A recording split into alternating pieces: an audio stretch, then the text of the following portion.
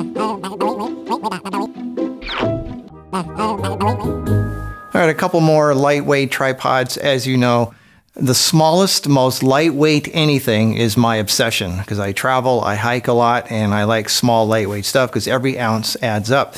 So here's a couple more tripods that I'm going to go with. The funny thing is, I don't even use tri. The only thing I ever use tripods for is to put a little camera on it when I'm filming myself talking on location. That's the only thing I ever use it for. The thing I use the most when I travel is light stands because you know I'm always hand holding my camera and I'm using a light to hold up a light stand, a light stand to hold up a light.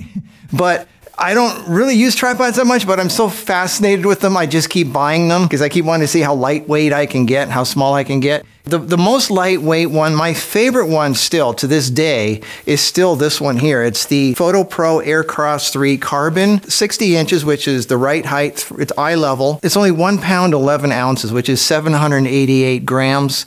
And it's the fastest as far as setting up and, and taking down, it's it's the, by far the fastest one that you can. Look how small it is. So 788 grams, 60 inches high. Nothing beats this. The if you like video. This is the video version. This is Ulanzi and Fotopro uh, co-production. It's the Aircross F38. Same thing, but with a video head. It's two inches taller.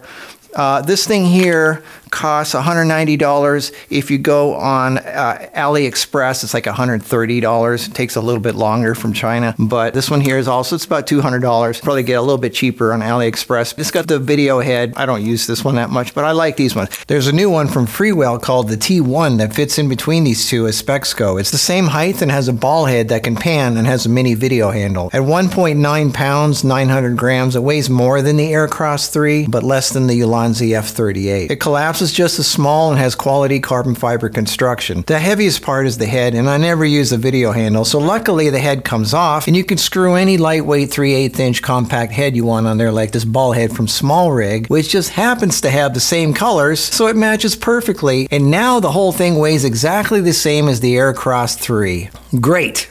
Except for one thing. It costs $300. If you order it right from the company website in China, you can get it at $250, but that's still $120 more than the Aircross 3 and I assume out of the price range of most people watching this video. So let's move on to a couple of real budget-minded ones for under 50 bucks. I got these off of Temu, T-E-M-U. It's another China site. This one's $49, Q160D Micro SLR. And what it is, is you know how these legs, they go like this?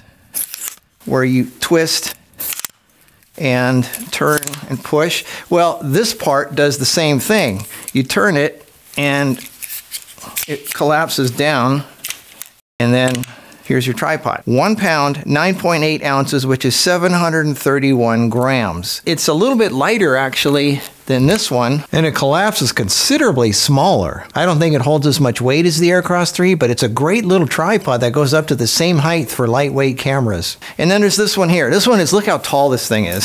72 inches, only $33. This one's $49, and this one's $33. So remember, this one, this is high quality, uh, but it's it's between 130 and uh, 190 dollars. This one is only 49 dollars, and this one's 33 dollars. And look how tall it goes. So for 33 bucks to go this tall, that's pretty amazing. And it's got the locks here, which is you know the old school easy way to do it. It's really lightweight. It weighs nothing. It's two pounds, 5.4 ounces, which is one kilogram. So it weighs a little bit more than the other ones, but it goes considerably taller. So here you can see the prices and the sizes. The longest one is 21 inches and the shortest one is under 11 inches. That's pretty amazing. And it goes up to the same height as the one next to it. This is more for smaller lightweight cameras. That's well if you're traveling or if you're hiking or traveling, you're probably taking smaller cameras anyway. So there you go. There's my uh, my tripod thing for the day.